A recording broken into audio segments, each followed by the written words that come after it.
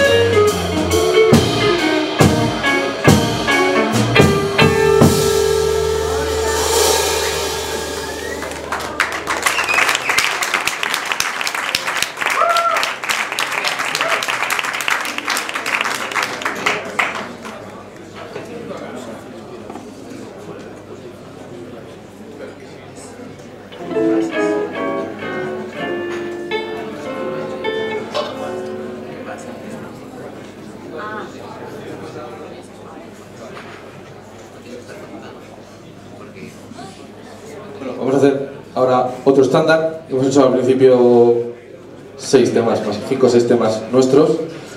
Y ahora vamos a hacer, estamos haciendo unos cuantos estándares. Este se titula Have You Met Miss Jones? Y bueno, en la jerga de la gente del Harlem y esas cosas, los negratas de aquel entonces, decían esta frase, pues cuando alguien quería pillar tema, droga esas cosas, alterar su conciencia. Seguramente Django cuando fue a Harlem dijo, oye, You Met Miss Jones? Y le dieron un poco de heroína. Y bueno, pues esta es la historia de un poco del estándar. Es uno de los estándares que, digamos, antecede a los Coltrane Changes, que es unos, unos cambios, una sucesión de acordes, una progresión de acordes que inventó John Coltrane y que en este estándar, en el puente, tenéis que oírlo, tiene 32 compases, 8, 8 y en los siguientes 8 hay una progresión de acordes que se llaman Coltrane Changes. Cuando lo hagáis tenéis que gritar fuerte. Tenéis que gritar lo siguiente. Ti, tu, ta, tu, ti. Y ya nos enteramos. Y el que más alto grite se lleva un premio al final del concierto. Que es un CD firmado por toda la banda. Por cierto, tenemos CDs. Si alguien quiere, están ahí disponibles. Y bueno, pues un placer. Disculpad esta chapa. Vamos a empezar ya.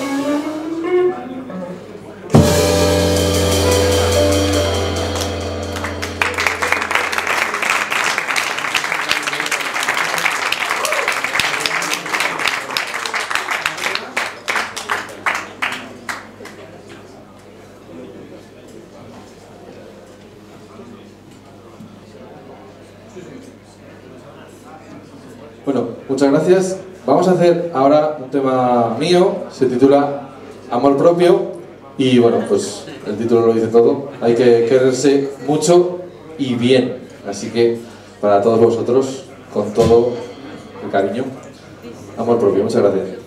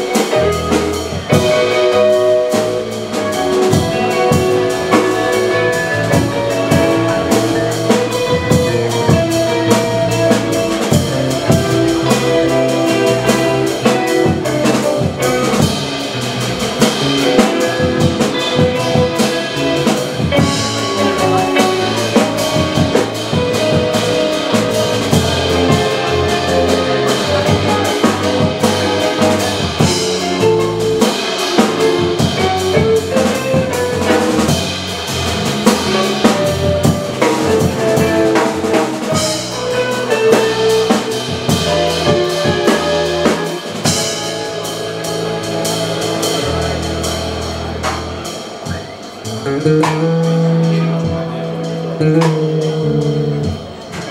puede